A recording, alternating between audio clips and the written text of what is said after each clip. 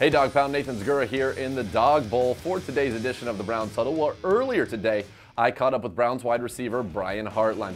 Hartline talked about the team's ability to put the loss behind him and get focused on a division game with the Bengals.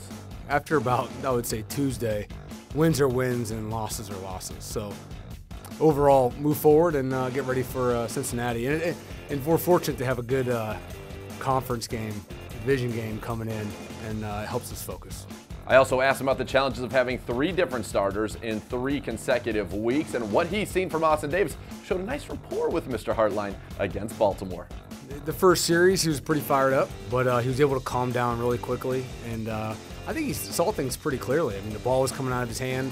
I know every time I turned around and other guys turned around, the ball was right there. So that's a good sign. He's not holding on to it. He's seeing things clear.